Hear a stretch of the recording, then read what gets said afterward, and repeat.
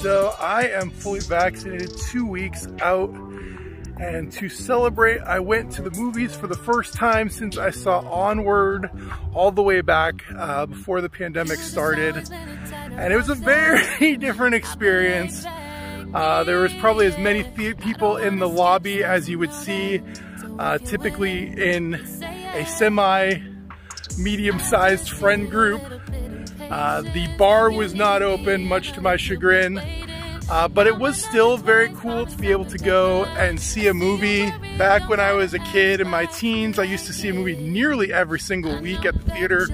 I have a great love for movies. And as the last time I went to the movie theater, I saw an animated picture. My return also saw me seeing an animated picture.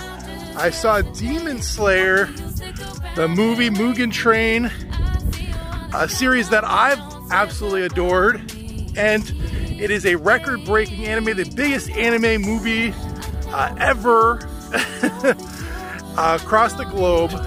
It's truly beautiful and I absolutely love the experience. It's not something that you can go and see if you've not seen the TV series, so don't just go in because of the hype of it being the biggest anime movie ever. You definitely need to have seen the TV series to make heads or tails of what is going on in the movie. Uh, but since I've seen the show, I had no issue with that. It was just nice being reclined, relaxed, seeing a picture up on a big 4K movie screen.